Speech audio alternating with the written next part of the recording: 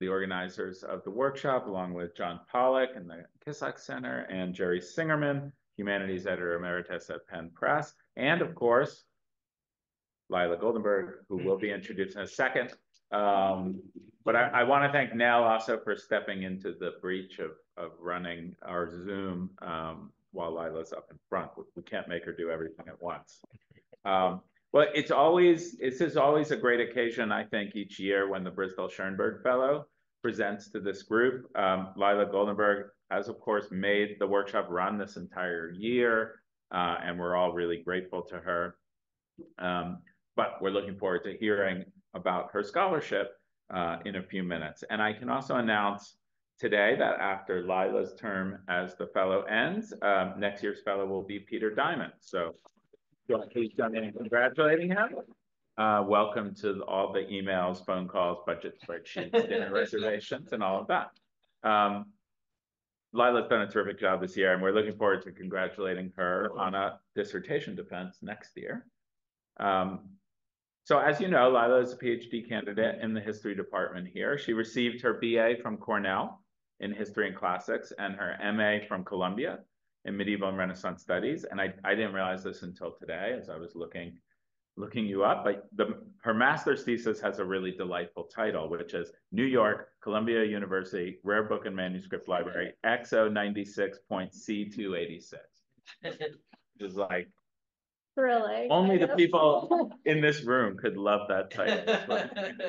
um, her dissertation in progress is called By Hand and Press, 16th and 17th century hybrid books from England, France, and the Netherlands, but I think probably you need to get a shelf mark in there somewhere. Mm -hmm.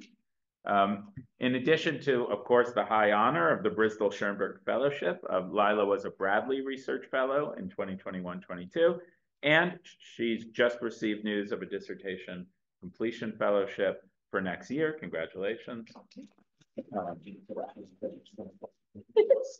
so you all know her already, but please join me in welcoming her to the front of the room, to the high table, uh, instead of that seat, um, to talk to us about library catalogs in 17th century Oxford.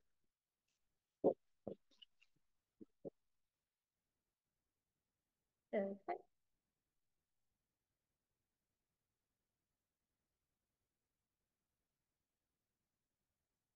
So, hello. I tried to think of an eclipse joke, but I couldn't, so I apologize. um, but first, I'd like to thank Zach and Jerry and John for giving me the opportunity to talk here tonight and for letting me serve as the Bristol Schoenberg Fellow. It's been a really wonderful, lovely experience, and I've learned a lot, and thank you for your mentorship.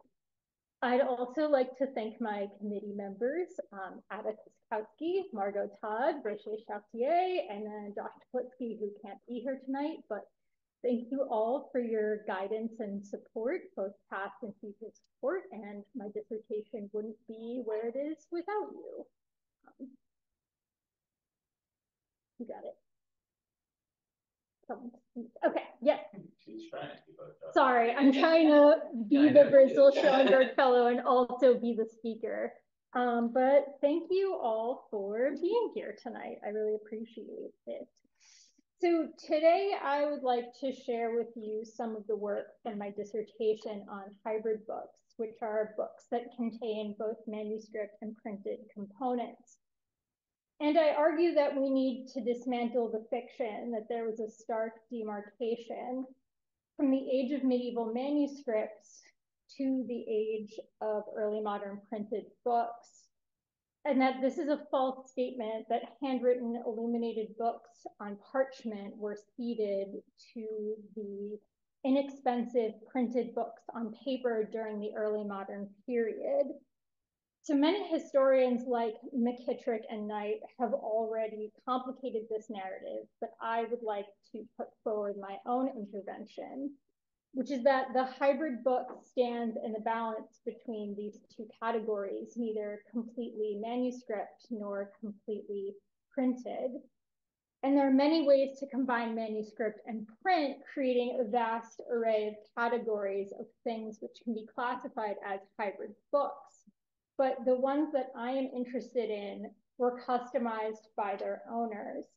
And by analyzing their materiality, a picture emerges of the intimate relationship between a reader grappling with and benefiting from the coexistence of the two media in her own book.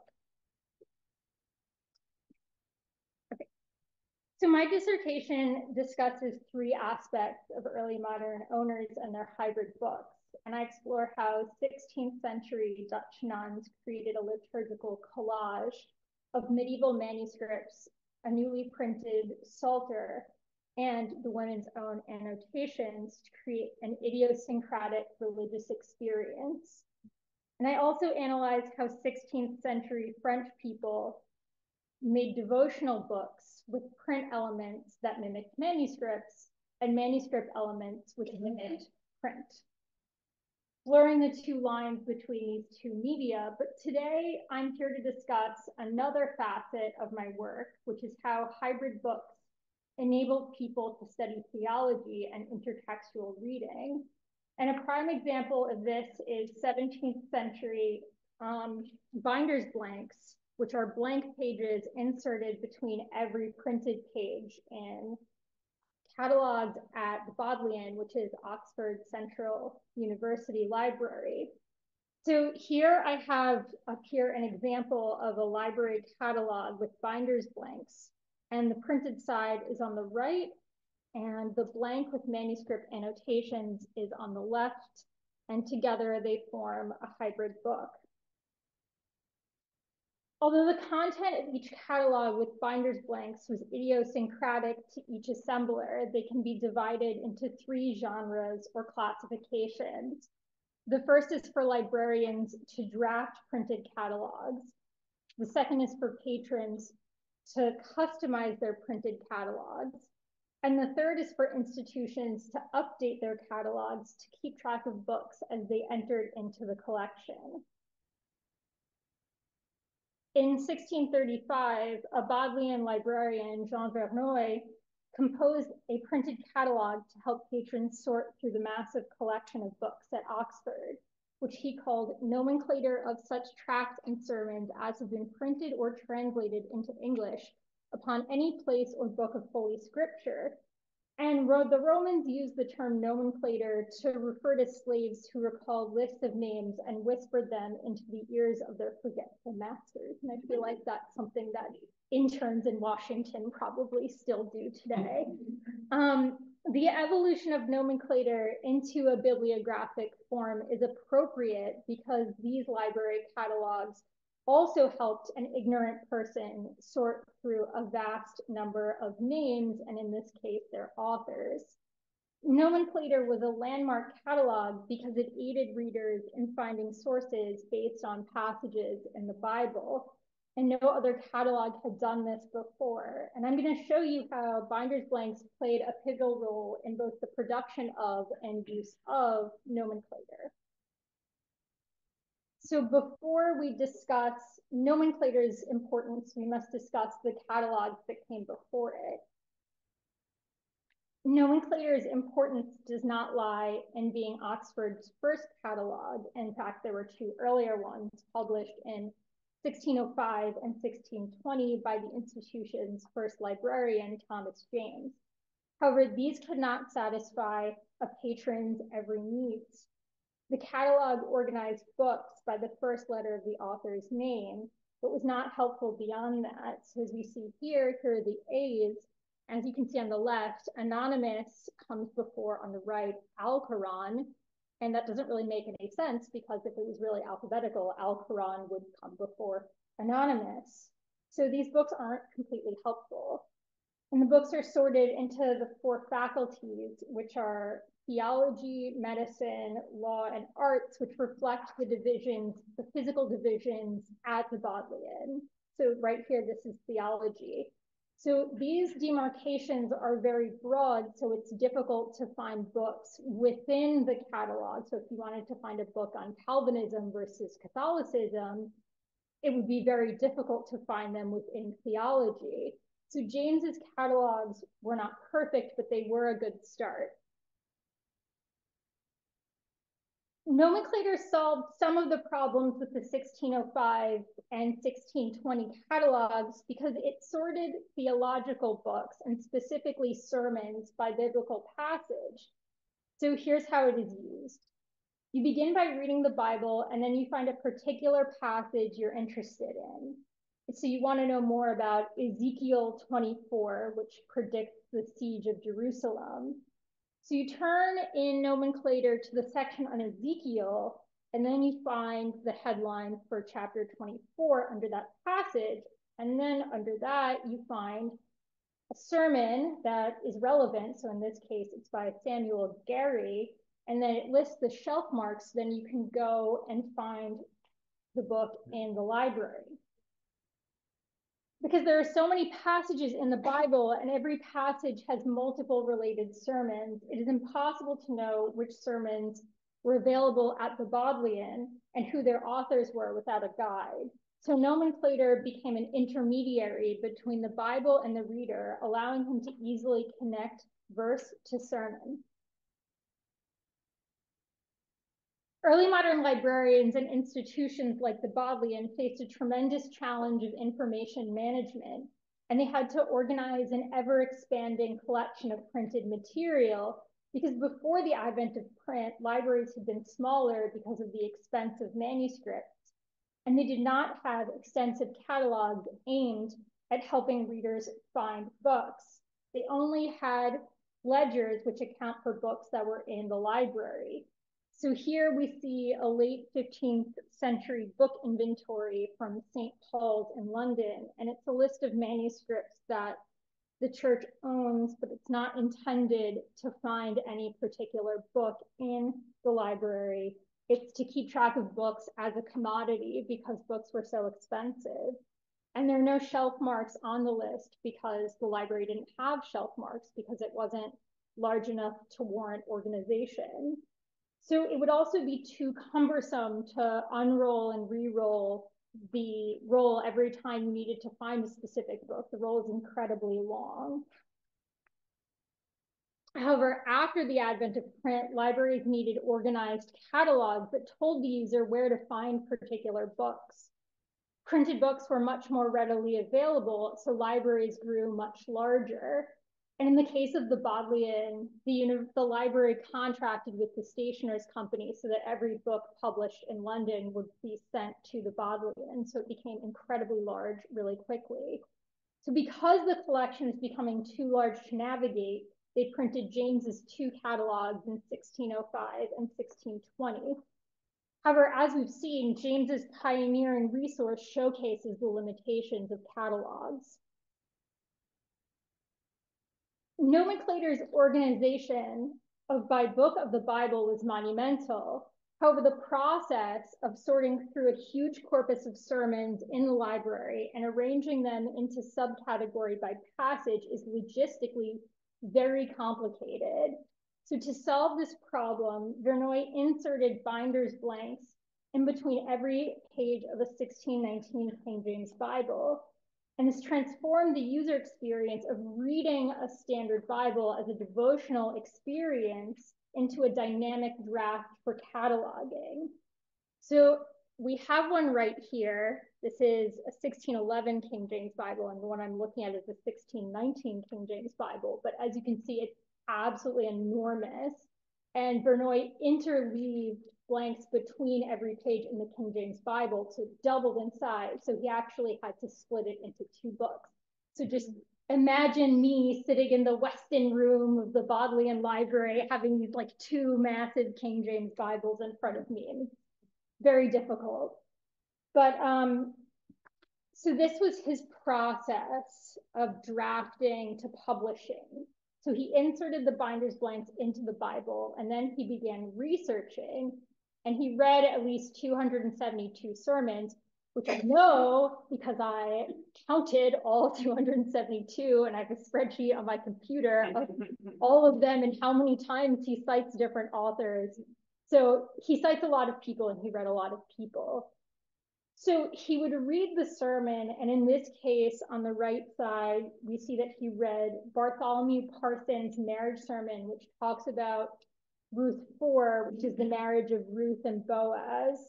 And then he opened to that page in the Bible. So we see on the left, on the printed side, that's the printed text of Ruth 4 in the actual Bible. And then across from the printed page on the blanks, he wrote the name of the author and the shelf mark of the relevant sermon. So here we can see that on the right side that you have Bartholomew Parsons across from Ruth on the left. So the, the reference on the right perfectly mirrors the placement of the printed text on the left. So it's in the exact same place on the column, making it very visually easy to relate the two. So then he just needed to compile a list of all of the sermons in order and then send that to the printer and have the printer publish it. And I'm sure it was a much more complicated process than that, but that's how I imagine he was doing it. But attempting to draft such a book as nomenclator using a notebook, which would be the alternative, would be logistically so complicated because you'd need a notebook that was so large and you'd need space for every sermon. And you would need to also have room on your desk to have the sermon and the Bible and your notebook. And that's just too complicated. And so having the blanks interleaved in his Bible really streamlined the process and was much more visually easy. So Verneuil chose sermons rather than other sorts of theological works because unlike church fathers or the classics, new sermons were being published constantly. And there were too many for a librarian to keep track of if a patron came in asking for a commentary on, say, Proverbs 3, the librarian would have to know all of the sermons on Proverbs 3 to be helpful. So Bodleian librarians were well educated and Verneuil had a master's degree, but even the best education doesn't tell you what the new books in the library are. So you need a published catalog, which is the best way to find books so a patron doesn't need to rely on an overworked librarian. The authors Verneuil listed on his binder's blanks let us see into his personal, personal ideology, and that he's a Huguenot, which is a French Calvinist. And Calvinists are a type of Protestant who believe that God already chose who was going to heaven, and that humans are inherently corrupt and many other things. Uh, Calvinists were persecuted in, Cal in Catholic countries and often targeted in Protestant ones, including often in England, where the majority of the, the Calvinists were Puritans. And Verneuil was born in France and came to England as a Huguenot refugee. And as a librarian, he translated French Huguenot literature into English and English Puritan literature into French, and it may seem small and insignificant that Verneuil cited many Calvinist authors in nomenclator. However, by doing so, he directed readers to find books on this theology, perhaps persuading his audience to adopt a Calvinist stance. If they didn't completely adopt his ideology, they may have at least incorporated some of his beliefs into their outlooks. Not only did Verneuil use blanks when composing nomenclator, but many of the catalog's owners followed his lead and inserted blanks into their own books onto which they wrote references to ones that the librarian hadn't included. So the first edition of nomenclator was in 1635, and it seems to have had a pretty small print run. I have only found a couple of copies of it, and I think there's only one on early English books online. Um, and in contrast, the 1642 was a massive hit, so it's no accident that all of the interleaved books are from this edition. And there are so many copies of this edition, and I found them all over the Bodleian and the British Library. There are records of it all over North America. And I found 12 interleaved copies at Oxford, which have binder's blanks. So all 12 have the same format, which is that the owner took a copy of the printed nomenclator and inserted blank folios. So on the left here, we see Verneuil's printed catalog for Proverbs 23 through 26. And across from it on a blank, the owner referenced a sermon by Robert Sanderson for chapter 24. And this is not an author who Verneuil had included, but the book's owner wished to record. So he put it on the blank directly across from the printed page, making the blank an extension of the printed page. The act of using binder's blanks within nomenclator allowed these patrons to act as amateur librarians. They did not own the books which they were listing, they just found them at the Bodleian, and they were collating them because they had read them or wanted to read them and consult them again. So this personalized the impersonal library, allowing readers to create a corpus of books they would have chosen if they had owned a private library. Creators viewed this format as enabling an active, painless, and iterative process through which they could turn nomenclator's fixed content into a mutable book. So on one blank in a catalog with binder's blanks, a delighted owner says in Latin, it is easy to add books with this, with these endeavors. Hmm. Because all of these interleaved copies of nomenclator were made by different people, the contents were idiosyncratic to the tastes of their owners. So we can look into who these owners were. So you could they could be students at the university who could use the catalog as a part of their theological education.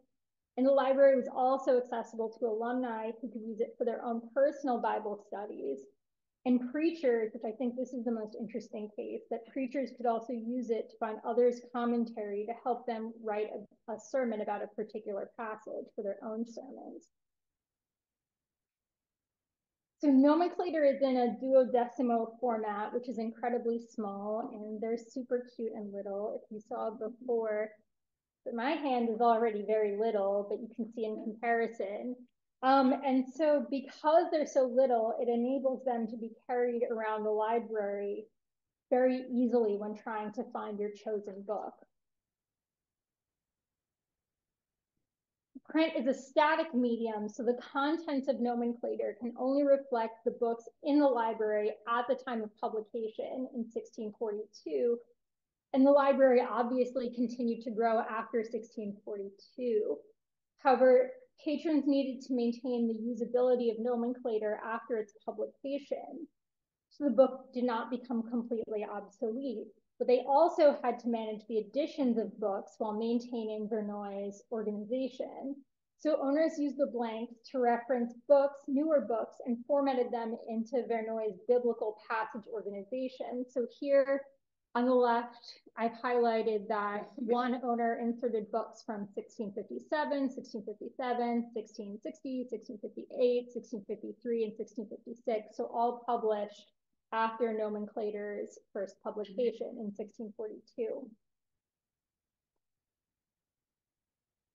Because binder's blanks allowed owners to customize their reading experience, we can gain insight into their personal theologies. So Verneuil's Calvinist leanings appealed to readers who could use the folios to add new Puritan books and update them to reflect new publications in the theology. So here we see that one owner cited Robert Sanderson, who's a Calvinist bishop, and Robert and uh, Sanderson was publishing until his death in 1663. So it was possibly happening here is that the owner was inserting a sermon that was published between 1642 and 1663 and just wanted to keep it updated with new Puritan literature. Some readers' theologies are not so straightforward. So by looking at the referenced authors, we can see how owners read across the confessional divide.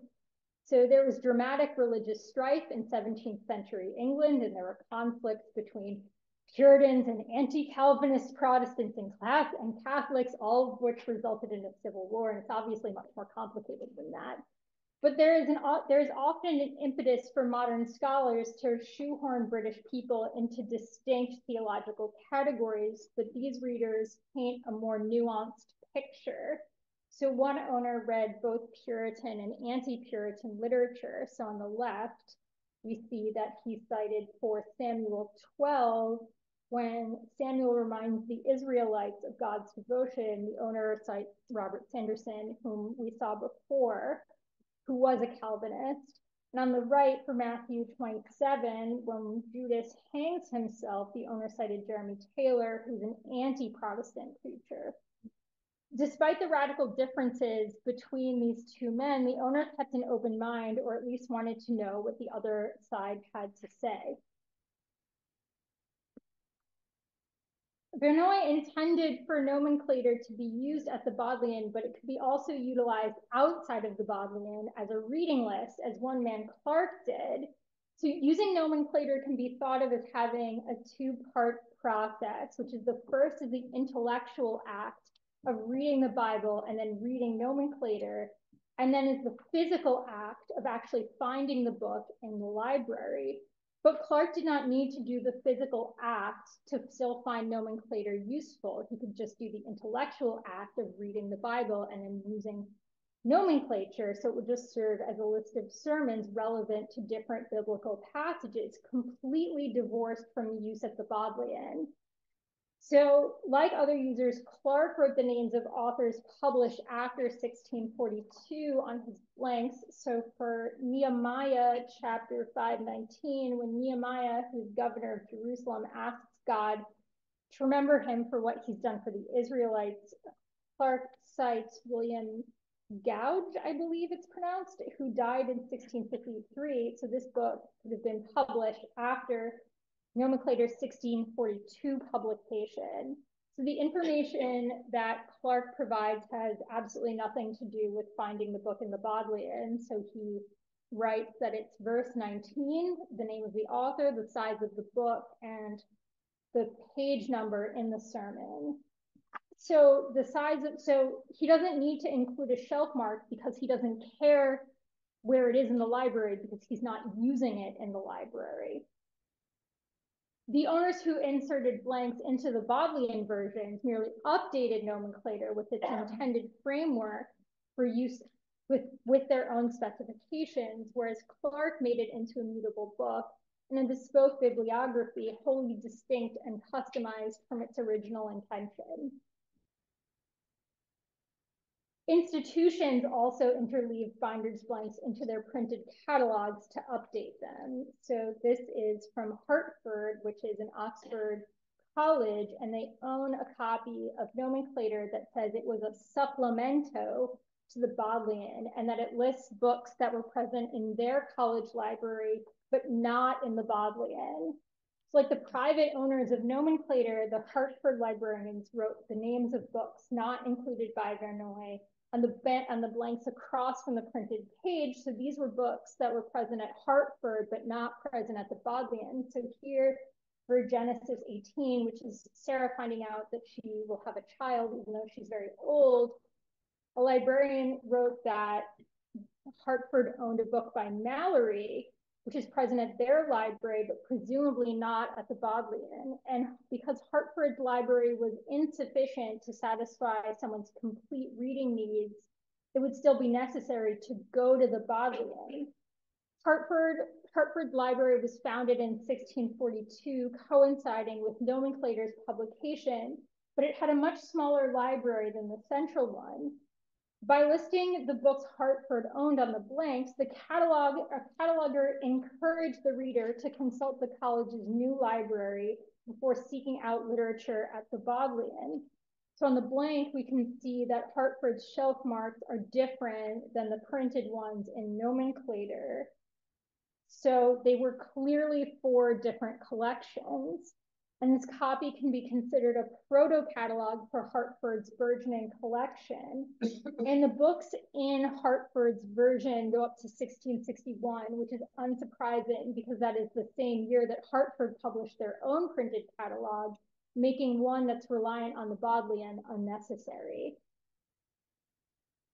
This system of using binders blanks for citations, which had been pioneered by Verneuil and used at Hertford, was later adopted for cataloging at Wadham College, Oxford.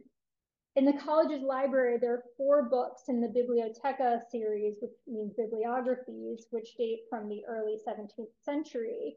So in 1680s, Philip Stubbs, the college's librarian, interleaved blanks into the catalog.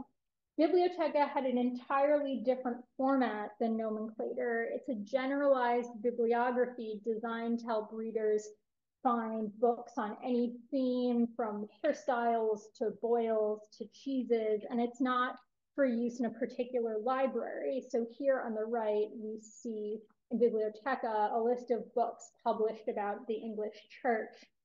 So Stubbs, the librarian, amended Bibliotheca to conform to Wadham's needs.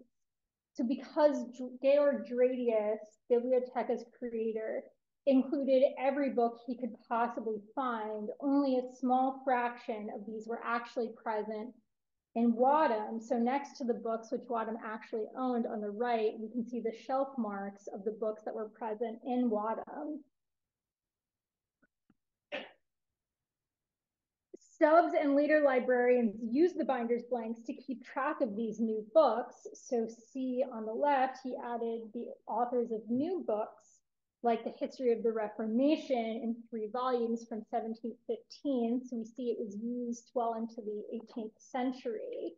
So Bibliotheca is a general static bibliography, but with the blanks, it is transformed into an institutionally specific mutable catalog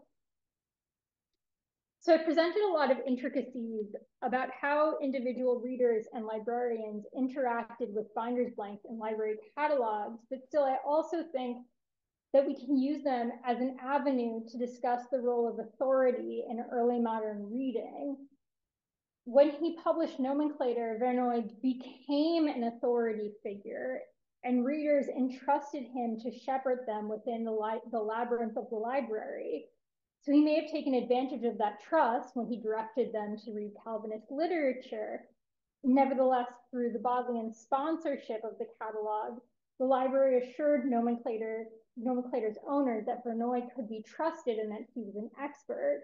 And when patrons interleaved binder's blanks into their own books and wrote their own references, they became librarians of their own collections whose references were as valuable and authoritative as Verneuil's. The relationship between the nomenclators with binders blanks, and their owners is essential for the study of hybrid books.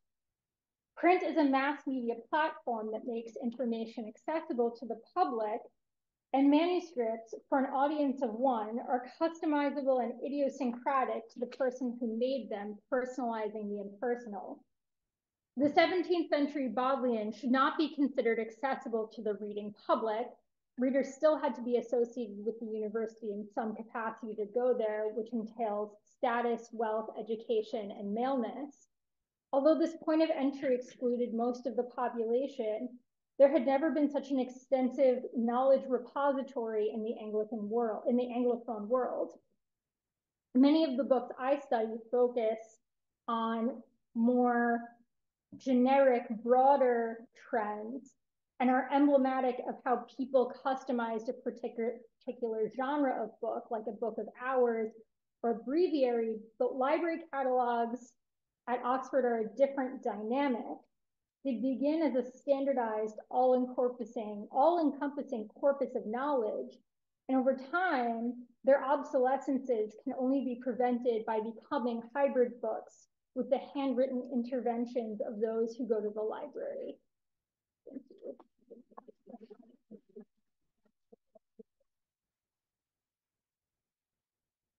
for that really fascinating talk. Oh, thanks, Zach. Floor is open for questions. Um, okay. Liliana, what's I mean, I was going to call on someone else. Go ahead, Lily. Thank you. Wonderful. Thank you so much for for uh, for the presentation. Oh, um, this is of course very squeaky for me. And I'm just wondering about the relationship of cataloging and reading. Yeah. And maybe you can tell us a little bit more about other books that have binder's blanks. Yeah. Is it something that is just the invention of these catalogs?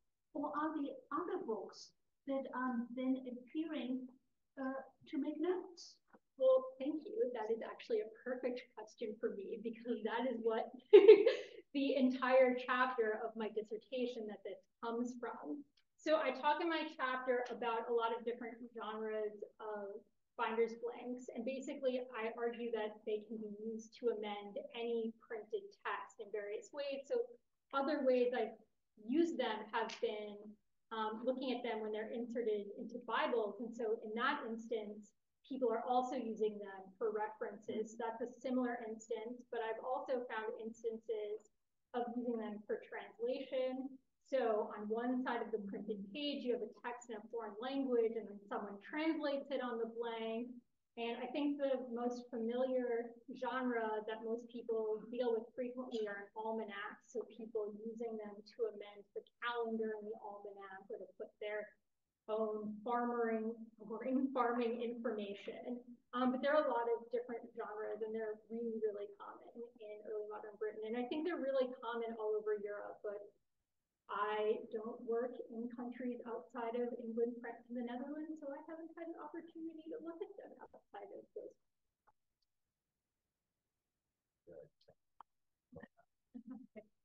Thank you so much, Lila. That was amazing. Oh, um, my question was about the actual size of the binder's blanks compared to the size of the notations. In most of the books, you know, it seems like there was marginal space on the printed page where there wasn't that much actual writing on the binder's blank. Yeah. It, it seems like you could use the margin to write the information that you needed.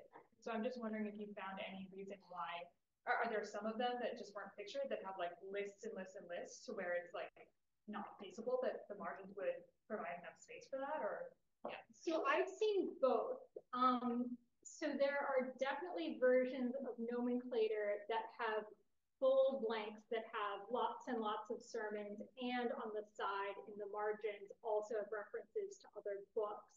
But I think one of the benefits of using blanks is that it's neat, it's clean. So you can very obviously see this sermon is for Proverbs 3 that this person wants to add correspond to the printed page of Proverbs 3 Whereas I think if you have them as marginalia, it gets kind of messy and you can't really write long things. You can only write little short things.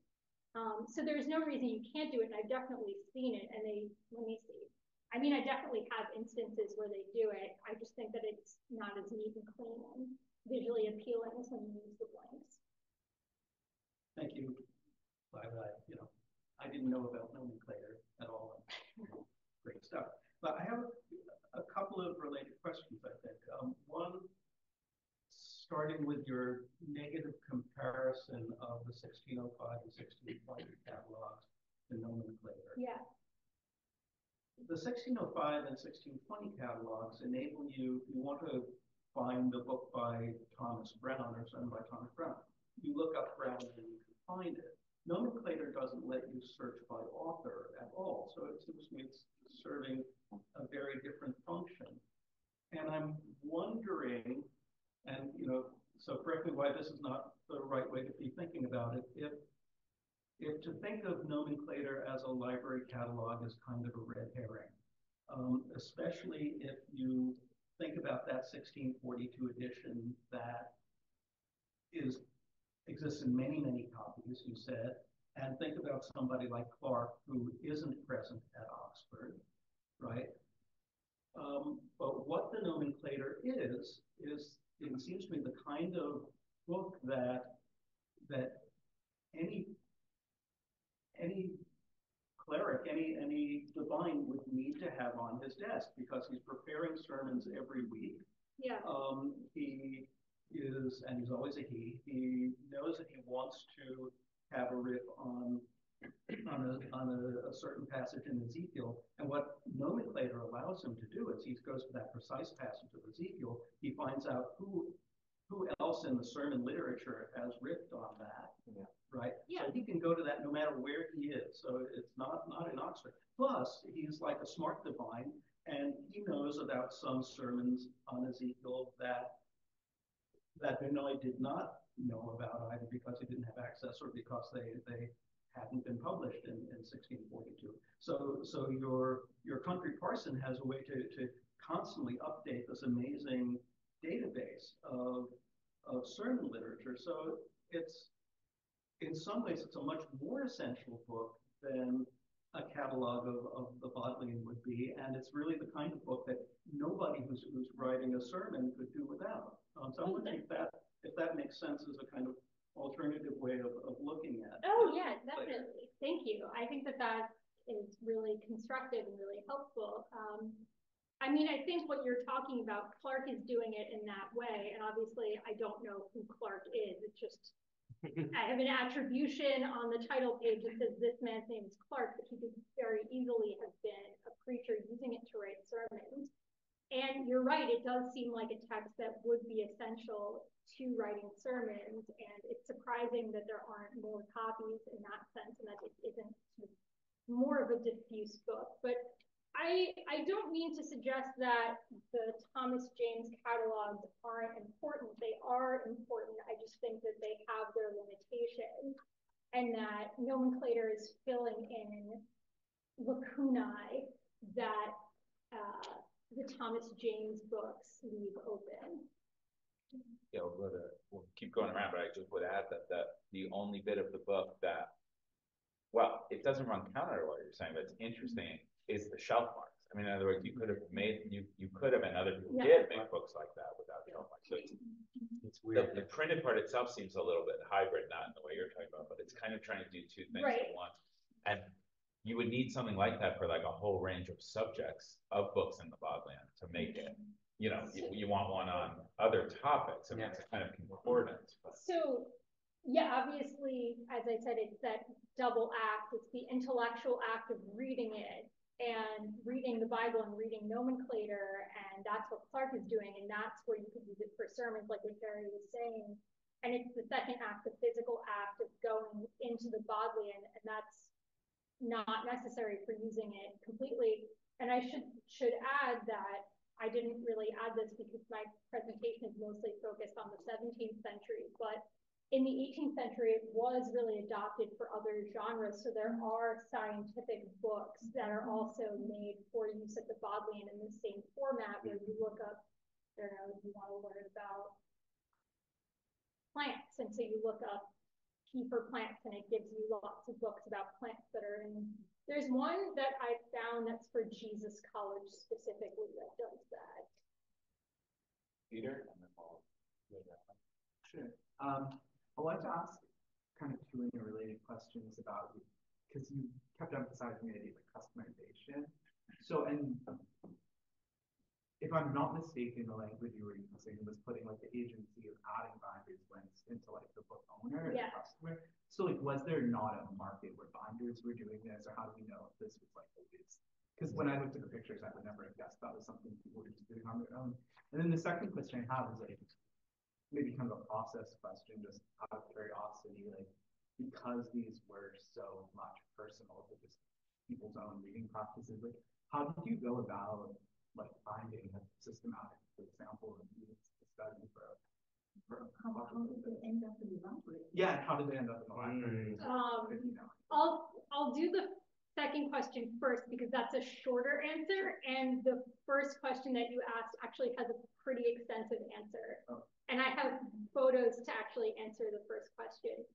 But I don't know how they ended up at the Bodleian. And there's one book that I have looked at that has like a little provenance tag and that it just says that it was sold in the 19th century and then added to the Bodleian collection but that's the only instance of provenance that I have.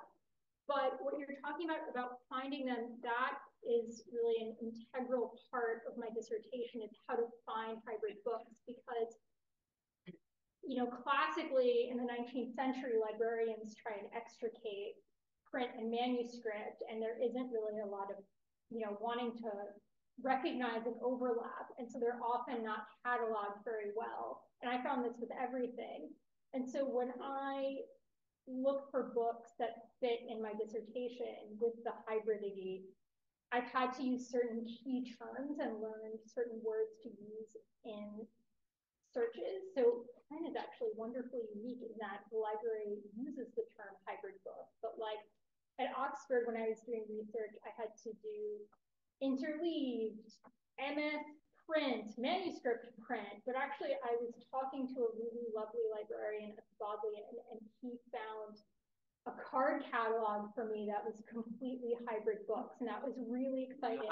And I actually had Someone else obsessed before you. so it was, it was made in 1970s, and embarrassingly, that was the first and only time I've ever used a card catalog.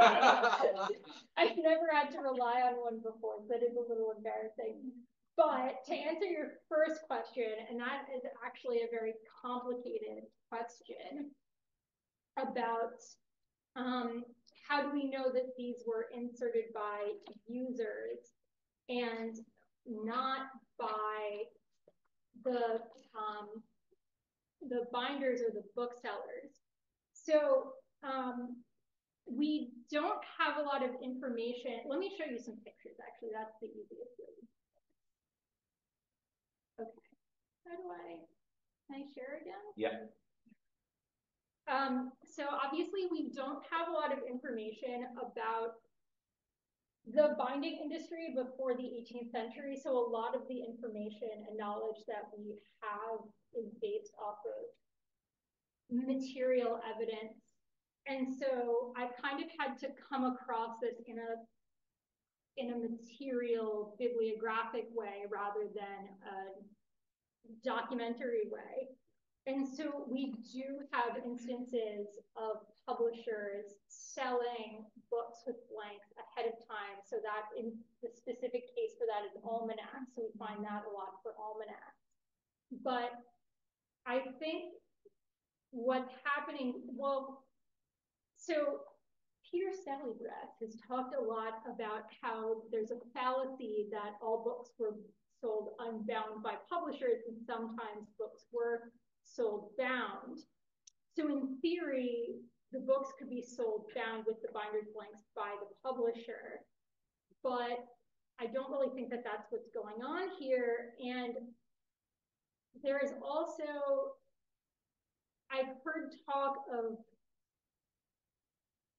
publishers holding on to stacks of unbound books, but that doesn't really make sense. And then for sale later, but that doesn't really make sense for me in this instance either because you wouldn't hold on to a book for a really long time, it's going to become obsolete.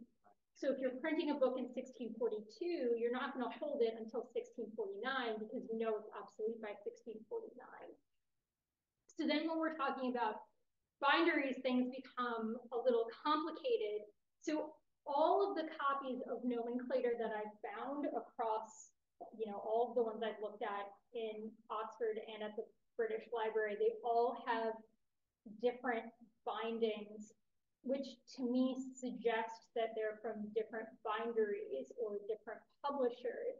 The only commonality is that some of them have limp-vellum bindings, which is the one in the middle, and that's an incredibly common binding that was used from the 16th century to the 18th, or I think even right to the 18th century. Yeah, so it's incredibly common. That's not indicative of any particular publishing house. But I think if they're coming from the same publisher or the same binder and they're made generically already with the binder's blank in them, they would have the same binding. But even if they're coming from the same binder, um, so even if they're coming from the same binder, and customers choosing different binding that still implies a level of customer consumer intervention. And there were tons and tons of binders in Oxford from the Middle Ages to yeah oh yeah. Okay I want to make sure that we, we keep our order a little bit. Unless there's a follow-up. Okay. This is a follow-up because it's a question about have you the paper that's being used as well and Yeah. comparative paper. so It's, I'm glad you That asked is, that that is question. yeah, So I have looked at a lot of watermarks on the blanks and I made sure okay. to look at the watermarks in all of the blanks and none of them have the same watermark. And so you can see here, these are both Heather Wolfe has worked on the Heather Wolfe, friend of the seminar and recent uh, recent presenter, ha is working on pot paper and paper in early modern Britain. And so a really common source of paper is from Normandy, and there are these little flower pots, and these are a common motif on the binder's blanks. But if you look at the little handle, the handle of the one on the left is kind of like this, and the one on the right is curly. And so to me, if they were coming from the same binder, they would likely have the same paper, which is possible, but not necessarily definitive. One's printed on though, and the other is just blank paper, and that's, that would be a difference. I mean, if you're talking about the blank paper all being different, it's one thing. I wouldn't expect the paper to match. Yeah. Writing paper versus. Sorry, that's probably a, to be honest, it is, as I'm sure all of you know, it is very hard to take pictures of watermarks when Yeah. you're by yourself. And it's, it's logistically very Yeah. challenging, and there was a really mean librarian at the Bodleian, and when I asked him if he would hold open and hold up the blank so I could take a photo and like shine a light from my camera. He refused and said, that's not my job. so I actually don't have as many photos as I would like to show you, but you have to take my word for it that none of them are the same. So But- none of, none of the No, the- paper that's been interleaved versus, I wouldn't expect, I mean, the other paper that's No. printed on is totally different. Yeah, sorry, that's a bad example, but Yeah. yes, none of the, none of the blanks are the same. And there's a watermark database and it's enormous. And I've tried, it, it's so hard to find things because like, especially with something like this with pot paper, there are so many and they all, like, how do you differentiate that the one on the left has like the this handle, whereas the one on the right has the curlicue handle? It's hard to look in the database and find that.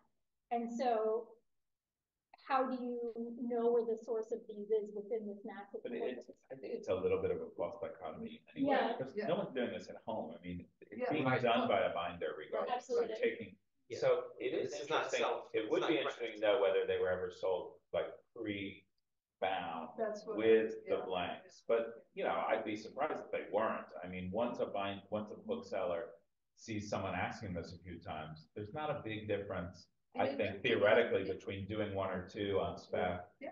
And then, you know, and I think Yeah. a lot of books were purchased, so you'd go and say, oh, I want a nomenclator, Mhm. I'll come back in two days, can you interleave it? Yeah. You know, so, I actually, because I found so many of these, I would expect to find more that were blank. I only found one that was blank. Mhm. So if that was really a common market practice of actually selling them pre-bound, I would expect to find more than just this one blank one. And this is actually the one that had the provenance in it. Unless it- we've got to move on. I've got so many questions piling up, Eh. and two in the chat. Yeah. Well, Finally, Well, there's so so, many questions that could be asked, It's such a fascinating topic Oh, for you. information management and so forth. that- That, some of my questions are very directly related to these other ones.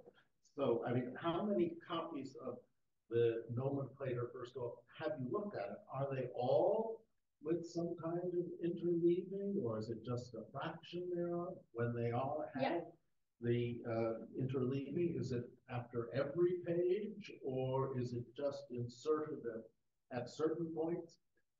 Also, how many of these are, do you know the owner?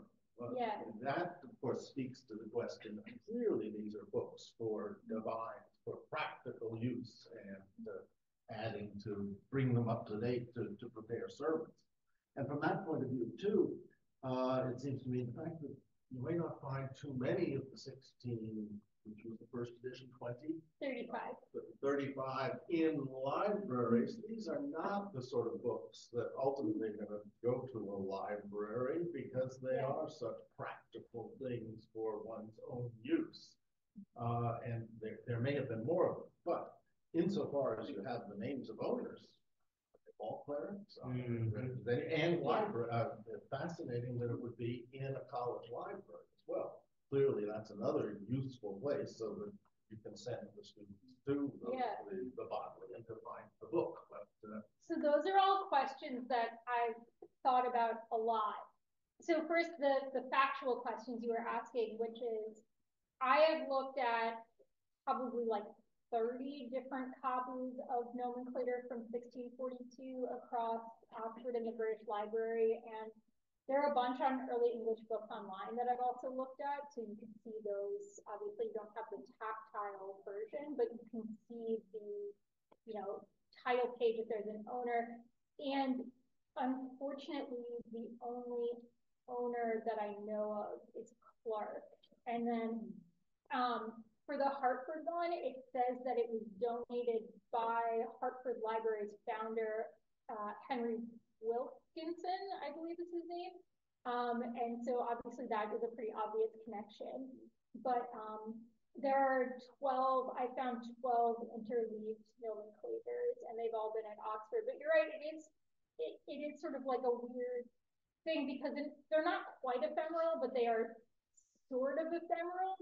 It, it's not sort of a highbrow book that you think someone would donate back into the library. So it's hard to tell what the circulation would have actually been. And so obviously this is just a snapshot and, you know, much like anything else with bibliography, we're going with what we got. Um, But twelve out of thirty is a very high proportion of interleaved.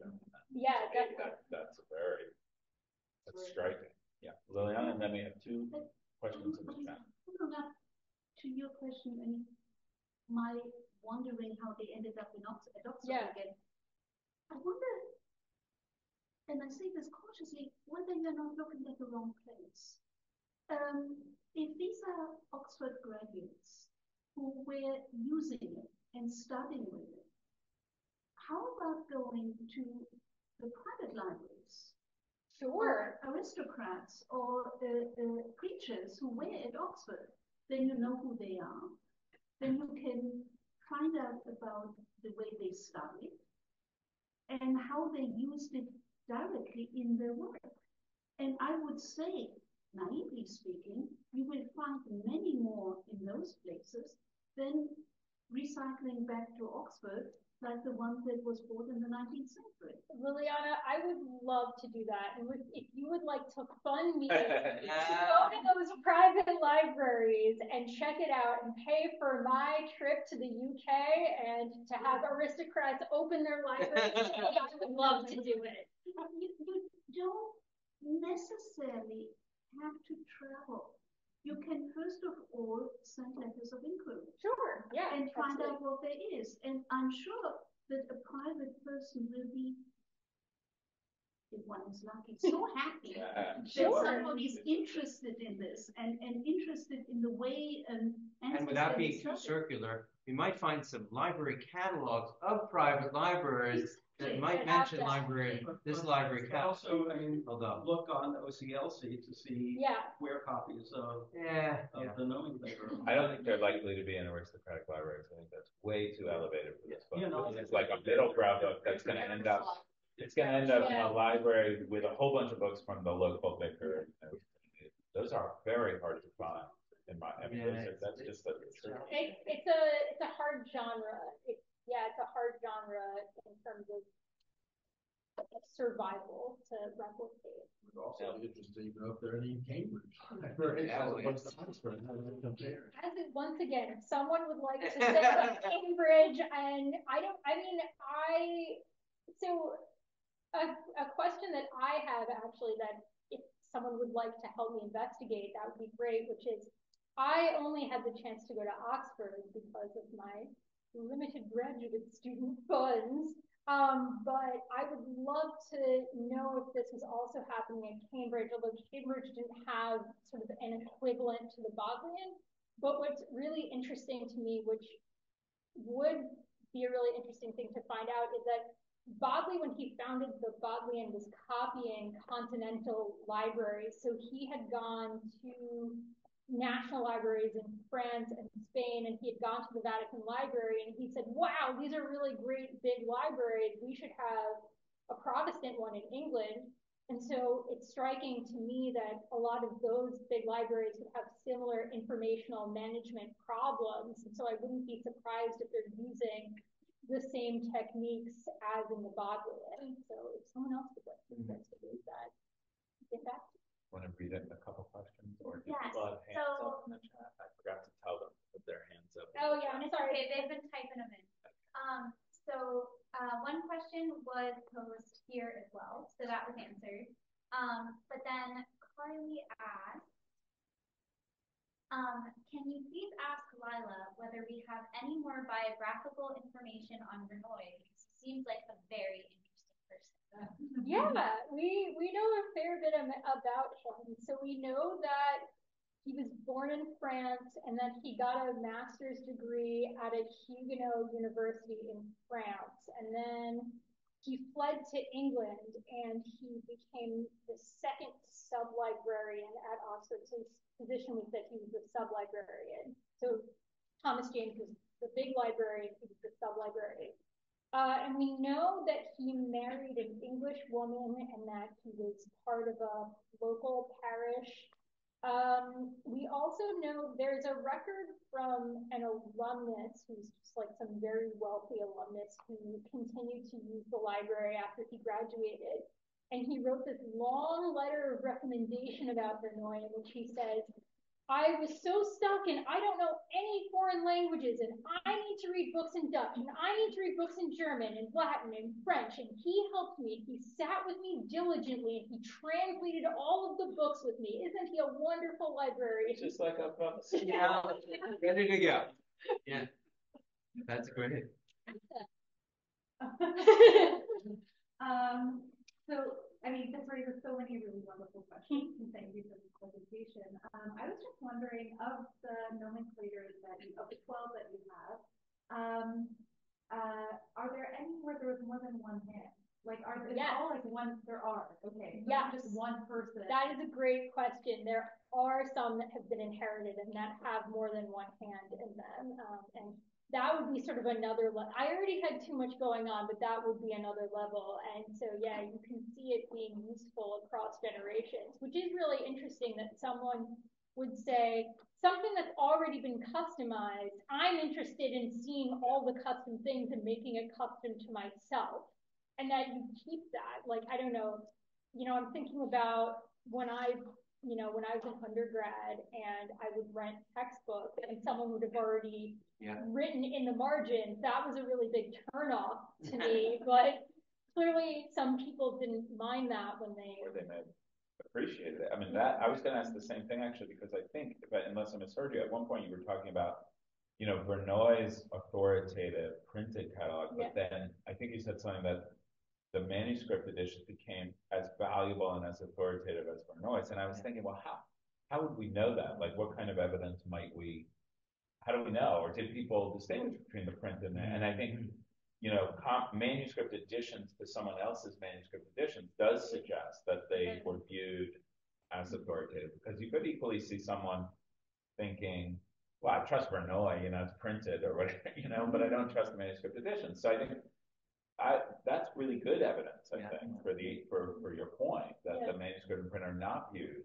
as really radically epistemologically different in that way. But I would think that a very likely scenario would be, there frequently were multiple generations of clerics in the Yeah. same family. Yeah. So it could easily be the father passing on to the son who he knows is also destined for the clergy. It could be, but it, I would also be interested on these books of looking for any marks of secondhand sale. Okay. Because I think it's not, there are, and I don't have them in mind, but there are cases of secondhand sale, like an auction record, bit, bit later, but making clear that they have the notes of so-and-so in them, even in the seventh century. So I wonder if, you know, we, if you could trace them outside of family, it's almost more interesting, right? That someone would want some other person's annotation. So I did this research last summer and then the winter before that. And then I went to RSA in the last month, the Renaissance Society of America conference in the last month. And I went to a really, really good talk about the secondhand book market in England. And one of the things that they were talking about were these like symbol that booksellers use, and I didn't know that until now. And so I wish I had You know, known that that. might be something. There might be something, some, and they're like little, they'll be like a letter V or something, or like a dot that means this is sold for one pence or something like that. Uh, and so I wish I had known that at the time, and I think that if we, if I had known that, that that would have been really telling to investigate secondhand sales, but, um, yeah, the only real provenance mark I've found is that one little blurb, but that was from the nineteenth century, and it was from an auction house. I don't know how interesting that is for our purposes. This is great. Thank you so much. It's so much fun. I, uh, okay, fun fact, um, we could take books from our reference department where we are still annotating printed copies No. of things with relevant library Yeah, information. The SDC is, in most libraries, the paper SDC is annotated. No. And, uh, and that is a practice that some old fogies, uh, sitting like the two of us continue, uh, because it has a certain kind of utility that you cannot replicate in another way. That is to say, a sort of standard thing that needs to be customized. Um, that wasn't one of the question, but I just thought it was a fun fact. I can show you those later, but I love this project because it seems to me, I don't know if you agree with it, sort of, there's a kind of longer term practice that you're investigating, interleaving. That doesn't really seem to have a history or not a, not one that I know. Binders, blanks, that, you know, those kind of connected, but long term, the, yeah, things that could be studied over time on the one hand, and putting it next to something that seems, and this is what I'd like you to maybe even talk a little more about, something that seems historically precise. That is to say, it's deployed at a certain point of time in a certain moment of intense uh, need. And, you know, England in the 1640s, titanic moment of religious political controversy. So would you say, and a Huguenot, I mean, we have a sort of, you know, you alluded to the, the complex religious politics here. Yeah. So, you know, I want to make your project, and would you agree to a sort of like, you know, um, material practice being deployed in a, in a particularly explosive moment? And, uh, you sort of agree? Is that something that you want to go so far as to say? And, uh, you know, we really need our sermons to be, uh, Yeah. uh, you know, It's sixteen forty.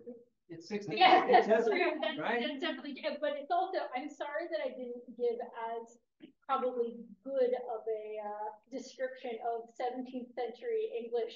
No, we don't have enough, you know, we can't. I do don't think, I don't think we have the time to Right. really go into the intricacies of the Civil War, but definitely, and I think one of the really interesting things about Verneuil is that he is a Huguenot, and we think of Oxford during the Civil War as being a royalist stronghold. I mean, Charles was based in Oxford, so it is like, and we think of Cambridge as being sort of low church and Oxford being high church, so it does have that interesting dynamic. The problem with sort of putting a locus of these books during the Civil War is that I just, we don't know when the books were annotated. And so we can't definitively say like, this book was annotated in Oxford when Charles was based in Oxford. It's hard to make those sorts of statements. And I think a lot of the other books I've been looking at, I don't think sort of the other genres I've been looking at also don't really have dates like that. There's one that I've been looking at that's a translation of Welsh Psalms into English, and that was really interesting. And that's from the 1590s. That's obviously like well before any of this, but I'm sorry, I. No, no, no, I think, I appreciate that cautious answer. Some of them, some of them are late. I mean, Some of them are adding books in the sixteen sixties. Yeah, So it's absolutely. obviously past Yeah, that moment. yeah. But that's also mm-hmm. interesting about, you know, the impetus for creating the printed book.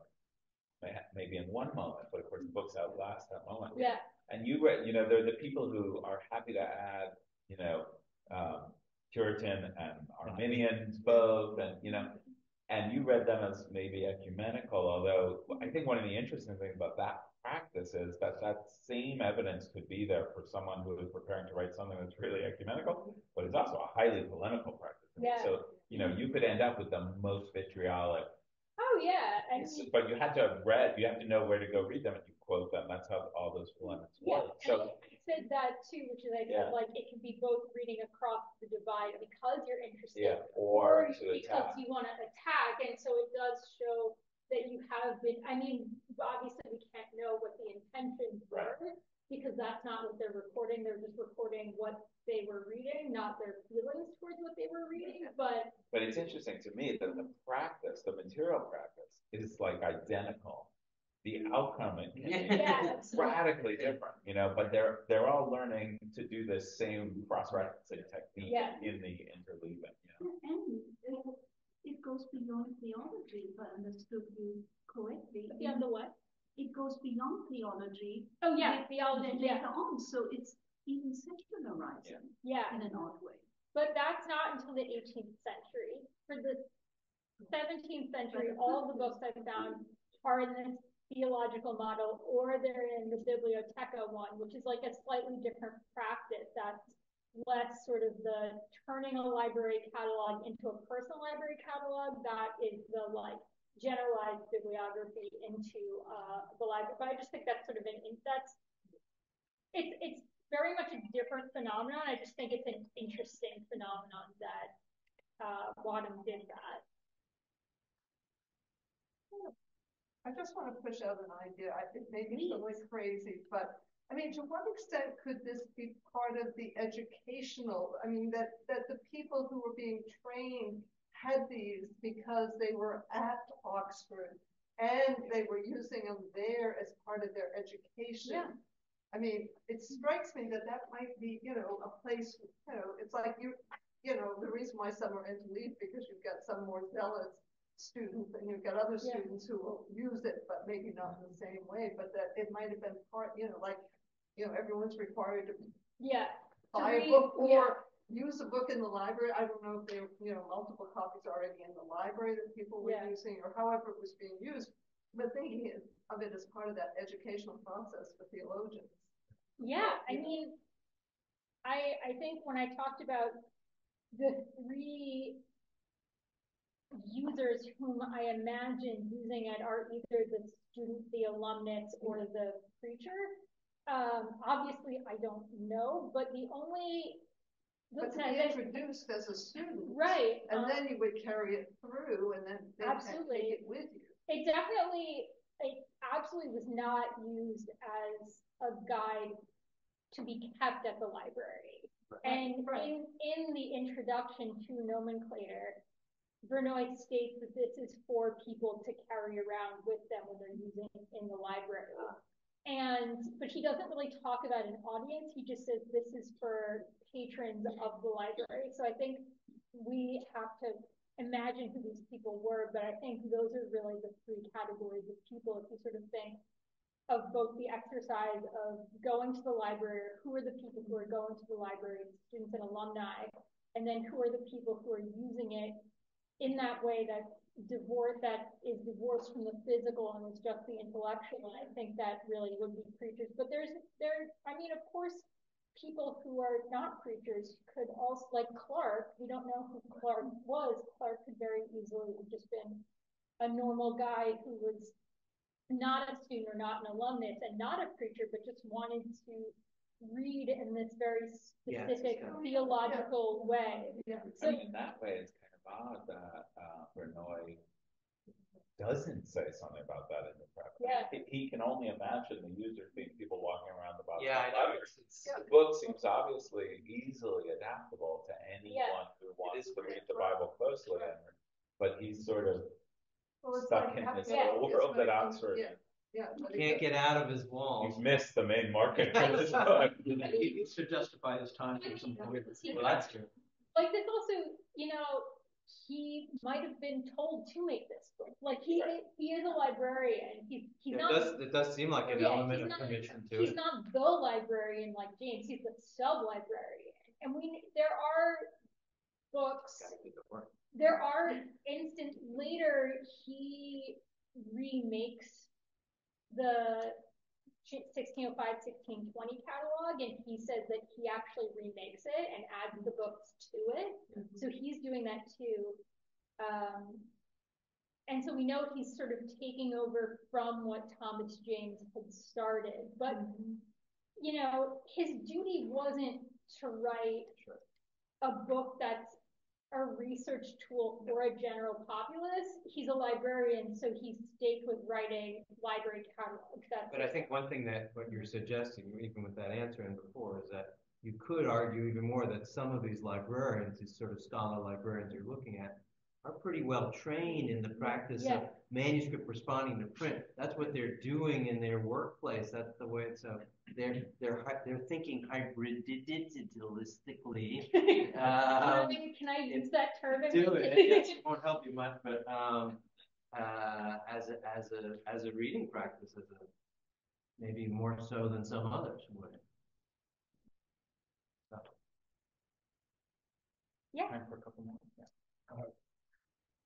Two questions. One, uh, very specific about things I know a lot about, like the lead to some further insight, uh, which is just uh, where is Bernard from? What Yeah. academy has he gone to, and when did he come to do?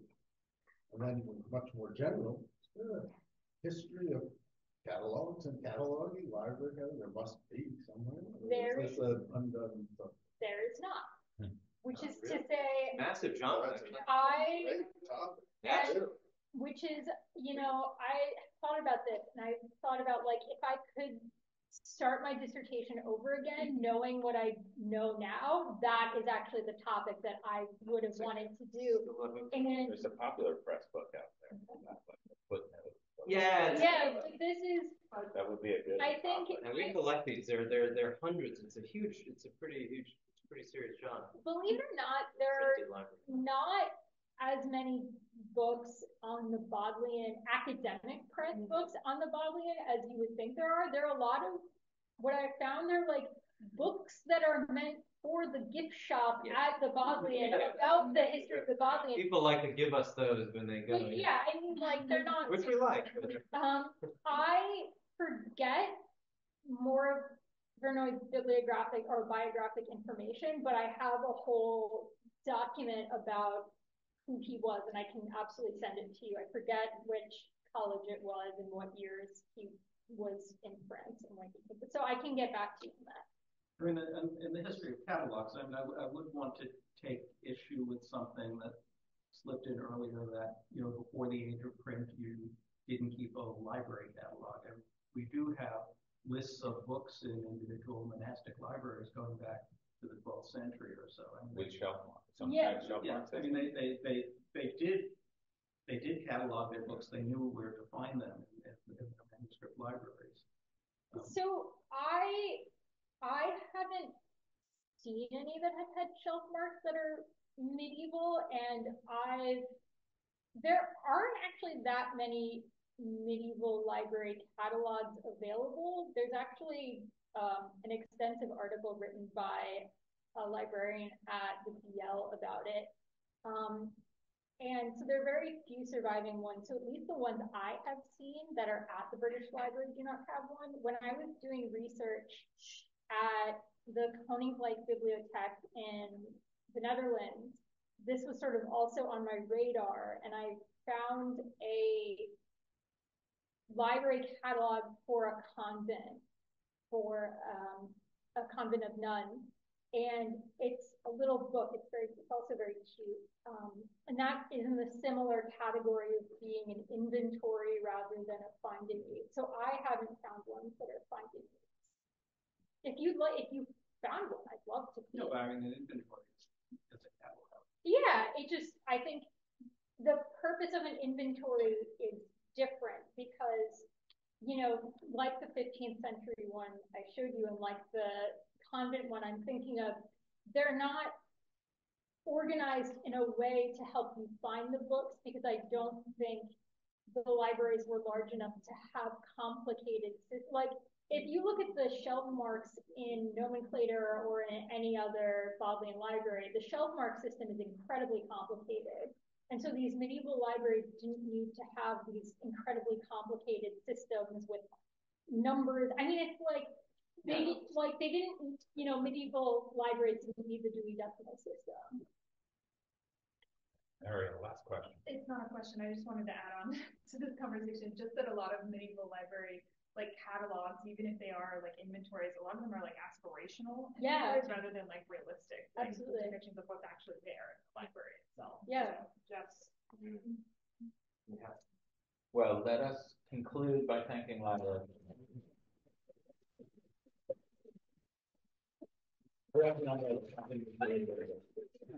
Thanks, everyone.